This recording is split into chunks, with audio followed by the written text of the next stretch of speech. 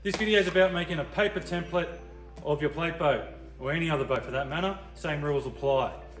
Let me show you how.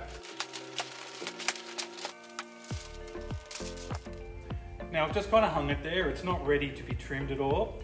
Um, now I'm going to go around and cut areas and I'm going to make sure the sheet is nice and flat against the boat.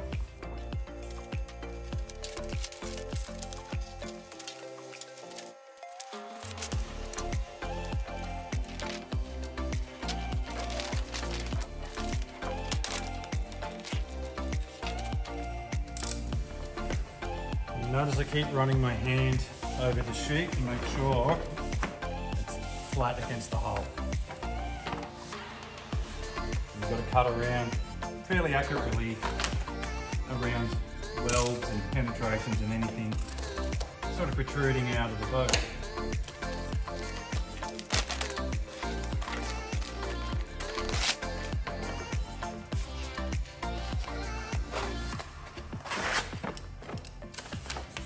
You'll notice I keep cutting little bits away, little bits at a time. Now, making sure the sheet is flat all the way. You trim out around, stick that one there. And then I'll continue down the front of the bow.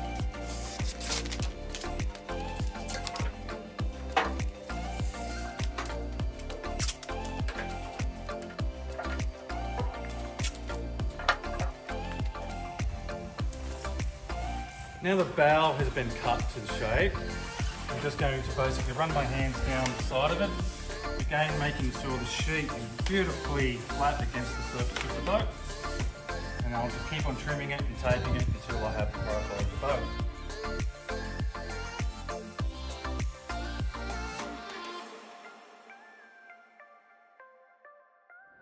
Once you've made your paper template and you've measured it all in, you'll end up with something like this. So that's the profile I made. And once I've made that profile and I'm setting up the graphics, then I'll go over to Photoshop. You'll see I've used the same profile as the bounding box for this particular graphics.